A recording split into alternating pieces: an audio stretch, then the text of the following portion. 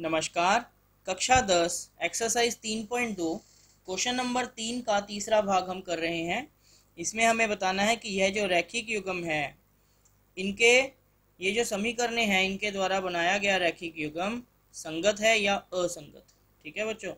तो हम क्या करेंगे? सबसे पहले हम इसमें निकालेंगे ए वन बटा ए टू बी वन बटा बी टू और सी वन बटा सी टू आइए देखते हैं। ध्यान से देखना ए वन बटा ए वन कितना है? तीन बटा दो।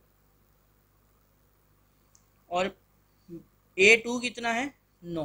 तो नौ भी नीचे ही गुना हो जाएगा। बी वन कितना है? पाँच बटा तीन। और बी टू कितना है? माइनस दस। तो माइनस दस भी नीचे आ जाएगा। सी वन कितना है? सात। सी टू कितना है? चौदह। ठीक है बच्चों? अब हम इसे हल करेंगे, सबसे पहले देखेंगे इनमें से क्या कुछ कट सकता है या नहीं कट सकता। देखिए, तीन के पहाड़ में तीन एकम तीन और तीन तिया नौ कट जाएगा। तो हमारे पास ऊपर बच गया एक और नीचे बच गया दो तिया छ। ठीक है? यहाँ देखेंगे पाँच से दस कट जाएगा तो आ गया दो।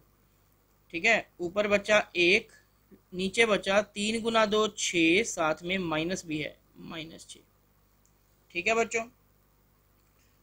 सी वन बटा सी टू सात एकम सात सात दूनी चौदह तो ये आ गया एक बटा दो। अब आप ध्यान से देखना कि ए वन बटा ए टू आया है एक बटा छ बी वन बटा बी टू आया है एक बटा माइनस छ सी वन बटा सी टू आया है एक बटा दो। तो मैंने आपको पहले भी समझाया था कि ए वन बटा ए टू क्या बी वन बटा बी टू के बराबर है? ये है एक बटा छ यह एक बटा माइनस छ क्या एक बटा छ एक बटा माइनस छ के बराबर होगा? नहीं होगा। तो इसका मतलब ये बराबर नहीं है। और मैंने आपको पहले ही बताया था कि यदि ए वन बटा ए टू बी वन बटा बी टू के बराबर ना हो तो हम सी वन बटा सी टू को देखते ही नहीं है। और इस कंडीशन को यदि हम टेबल में देखते हैं तो हमें दिखता है कि ए वन बटा ए टू बी वन बटा बी टू के बराबर यदि नहीं है तो रेखाएँ होती हैं प्रतिच्छेदी। प्रतिच्छेदी रेखाएँ कैसी हैं? इस प्रकार से एक दूसरे को एक बिंदु पे टच करने वाली। और यदि प्रतिच्छेदी रेखाएँ हैं तो वो एक बिंदु पे टच करती हैं, इसका मतलब उनका एक हल है।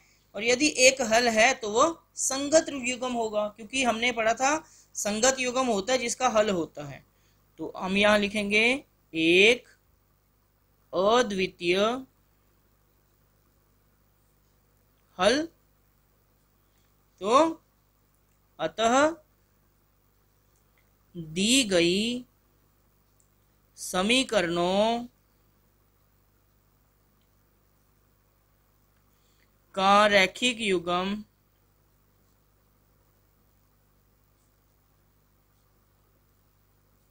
कैसा हुआ? क्योंकि इसका हल है, इसलिए यह रैखिक युगम संगत है। यदि इसका हल कोई नहीं होता तो यह रैखिक युगम संगत नहीं होता। ठीक है बच्चों? आशा करता हूँ ये वीडियो आपको समझ आया होगा। यदि ये समझ आया तो इसको लाइक ज़रूर कीजिएगा। धन्यवाद।